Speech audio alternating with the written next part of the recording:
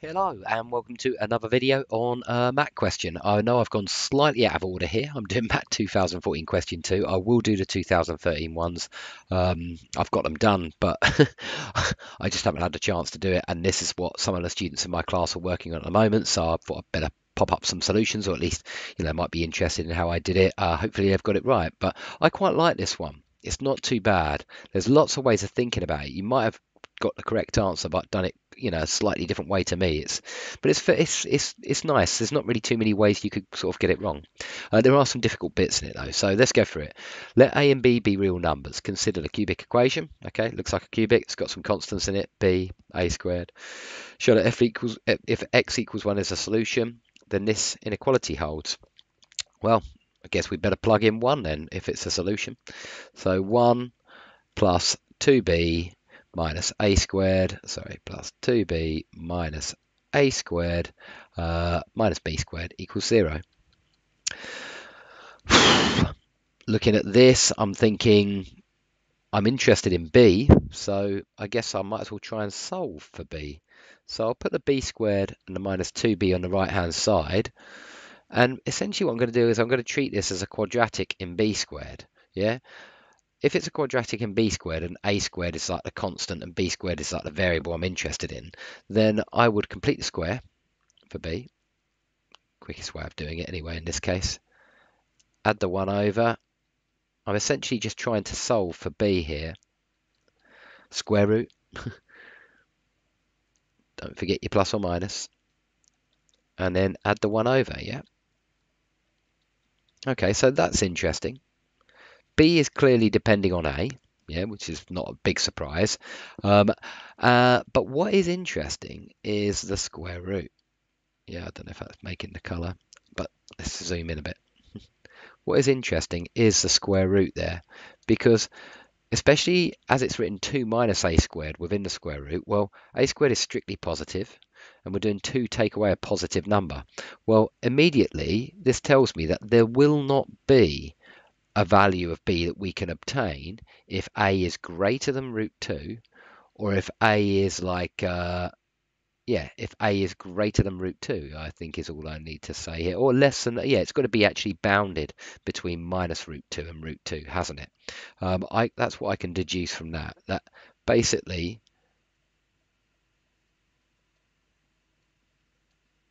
if a was larger than root 2 or smaller than minus root 2, then after you square it, you get 2 minus a number larger than 2, and so you're going to get square root of a negative number. That, what that's telling you is it's impossible for x to equal 1 unless that condition on a is satisfied.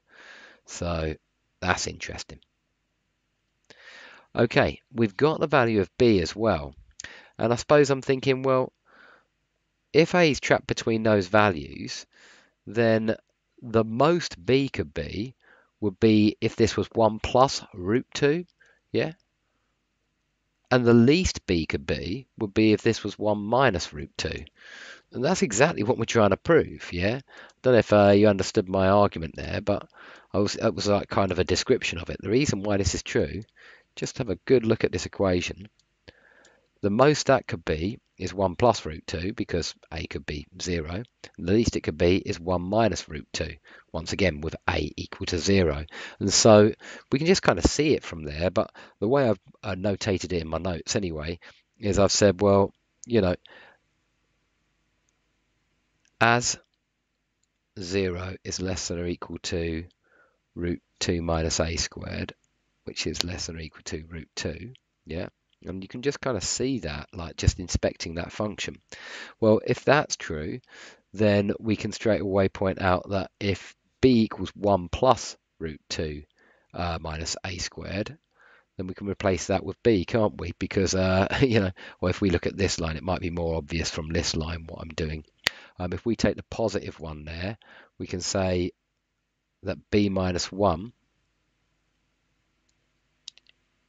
which equals this obviously, is going to be less than or equal to root 2, just taking the right hand side of the inequality, and therefore b is less than or equal to 1 plus root 2. On the other hand, or if you like, but also, if we now take the negative of that, in other words, times it all by minus 1, um, all the signs are going to turn around, and you're going to end up with 0 is, uh, if you like, greater than or equal to minus root 2 minus a squared, which is greater than or equal to minus root 2. Obviously, this should be written down the other way around, and you're probably very familiar with this kind of trick. Well, when we uh, use that and add, you know, um, and point out that b minus 1 equals this, and just use the uh, left-hand side of the inequality, we can see that 1 minus root 2, well, b's definitely going to be larger than or equal to that. Hence, 1 minus root 2, 1 minus root 2, sorry, I'm not great on the graphics tablet, is less than or equal to b, which is less than or equal to 1 plus root 2. And there we go. That bit's difficult, actually, I think. Uh, that's one of the most difficult bits of the question, really, if you ask me. Um, but there we go. Uh, right, part two. Show that there is no value of b for which x equals 1 is a repeated root of star. Okay, so this is the way I approach this, and I think they mention this way as an alternative method in the mark scheme, like just very briefly. But um, this was what occurred to me first anyway. I was like, okay, if x equals 1 is repeated,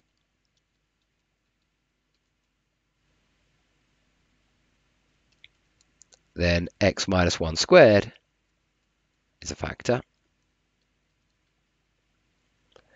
And so what I'm going to do is I'm going to try and multiply x minus 1 squared. Well, let's point a equals x squared minus 2x plus 1 straight away. I'm going to try and multiply another linear factor by that to make this cubic. Yeah. Now this is where I do division by progression. Um, hopefully you're familiar with what I'm doing here, this kind of method of doing division, because it's much quicker if you ask me. Uh, but yeah, if I can just, I'm just going to pull down this so I can see the equation right next to it. Here we go. Brilliant. So I can see what I'm doing. Uh, yeah, so what I'm going to do is I'm going to try and come up with a linear factor to make x squared minus 2x plus 1. I'm going to try and come up with a linear factor which when multiplied by this equals that. And the first thing I notice about this linear factor is it must be x minus b squared. And I'll, I'll probably try and explain to the examiner what I'm do, doing here because I, at the moment I'm just showing working. I mean, it's nice that I can talk to you, but I need to tell the examiner.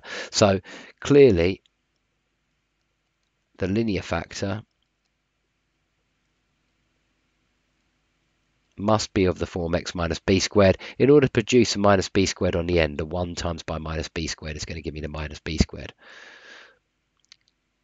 So I'm going to say that first. Yeah, just letting them know it must be of that to produce the cubic. But I'm still going to uh, show you a contradiction now because this is a proof by contradiction and maybe I should have flagged it more as a proof by contradiction. Um, you know, assume x equals 1 and then we're going to derive a contradiction. Is repeated then yeah there we go. And then we can just make it nice and clear to the examiner that we're doing a proof by contradiction. So you get minus x squared b squared, you get uh, minus 2x squared, you get plus 2xb squared, you get x, and you get a minus b squared. Now let's compare some coefficients. Yeah, if we compare this to, I think this is called star. They often, yeah, give it names. That's a good idea. Um, if we just look at some of the coefficients here, let's look at the coefficient on x squared. We've got 2b for our x squared, and here for our x squared, we've got minus x squared b squared minus 2x squared. So I guess 2b should be equal to minus b squared minus 2. Now let's just turn this into a traditional quadratic. b squared plus 2b plus 2 equals 0. This has no solutions. Why? Discriminant's less than 0. Or if you prefer, just complete the square on that in your head. And you'll see you're going to be squaring a negative number. This has no solutions as 2 squared minus 4 times 1 times 2 is less than 0. Yeah, I'm just showing the discriminant's less than 0. Okay, so there we go. There's a nice little contradiction. You could have used the coefficients on x. They'll give you another contradiction. So you don't have to do this, but just to show you the coefficients on x would have given you another contradiction. You get 2b squared plus 1. You know, this was looking at the x squared coefficients. If we look at the x coefficients, um, and I would like to explain to the ex examiner a bit more what I'm doing here. But there's there's two contradictions you can show here. If we've got 2b squared plus 1, if we let that equal to minus a squared, can you see why that's a contradiction? You've got a square now, a 0 or bigger, 2b squared plus 1 is clearly 1 or bigger. Minus a squared is clearly 0 or smaller, and so that's impossible. Yeah, and so clear contradictions here.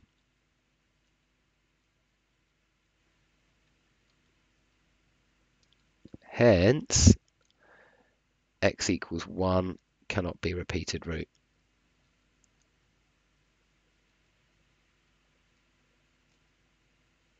There we go. Right, and now we just got part 3 to do. Given that x equals 1 is a solution, find the value of b for which star has a repeated root. Now, this is the kind of thing you read where you just think, didn't I just prove that this wasn't the case?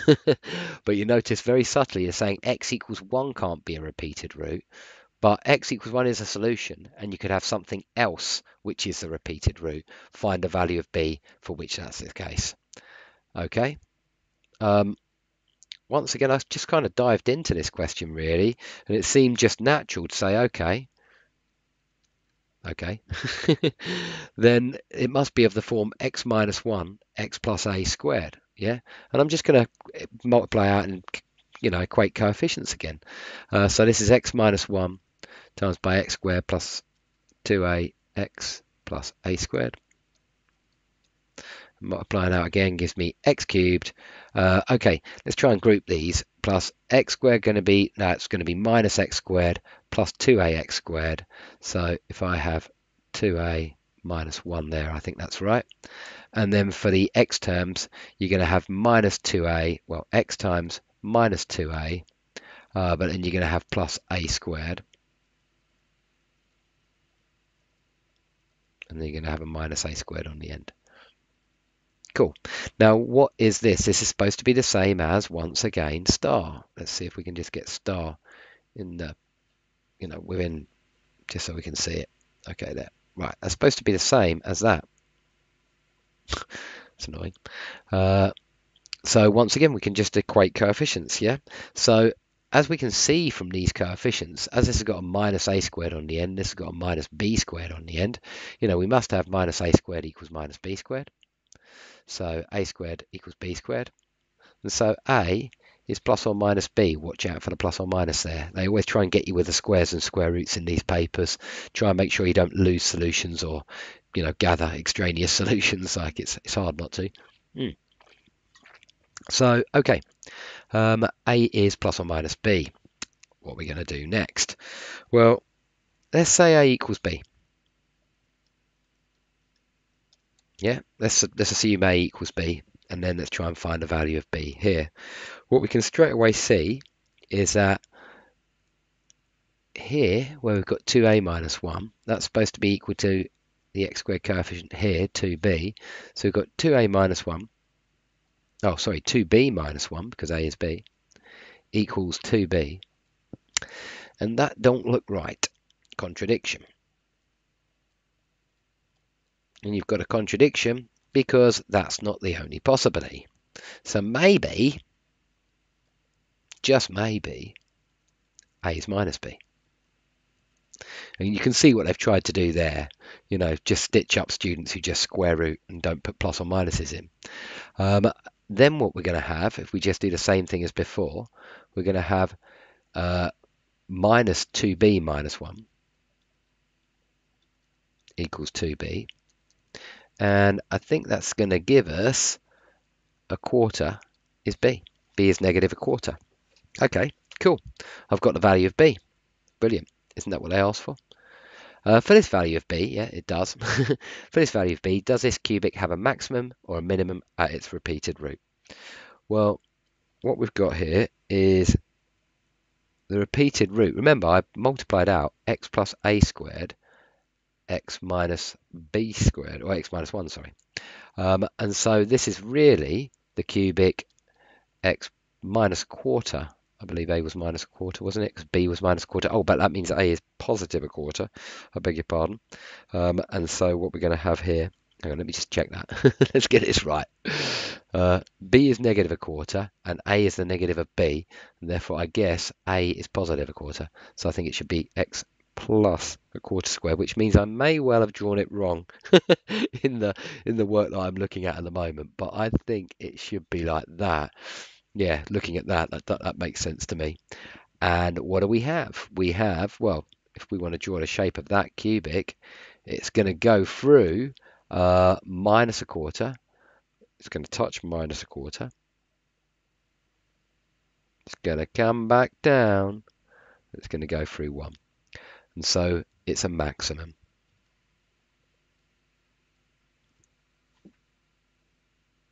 at the repeated root. Yeah, sorry, I was just checking everything there. I'm just looking at what I've done. I do this all the time. I've written, uh, you know, I've written a solution to this. It's all neat and tidy, but it's wrong at the end, I believe. Uh, pretty sure that's right. Um, comment in the bottom, though, if you think I've done it wrong. But uh, I like that question. Doesn't seem too bad, really, to me. Anyway, well done. Thanks for listening. Bye bye.